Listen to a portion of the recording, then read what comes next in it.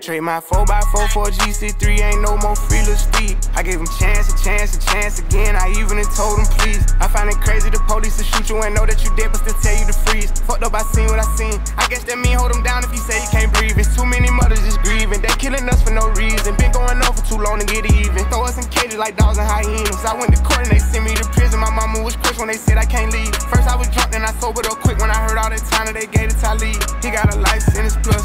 We just some products of our environment. How the fuck they gon' blame us? You can't fight fire with fire, I know, but at least we can turn off the flames some. Every color person ain't dumb, and all whites not racist.